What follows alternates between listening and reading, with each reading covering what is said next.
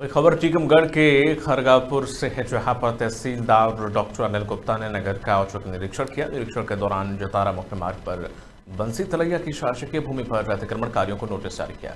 बताया जा रहा है कि यह अवैध मकान बना लिए गए थे और बता दें कि अतिक्रमणकारी शासकीय भूमि पर अतिक्रमण कर रहे थे। इसकी सूचना लगातार मिल रही थी। इसको देखते हुए तहसीलदार ने औचक निरीक्षण किया।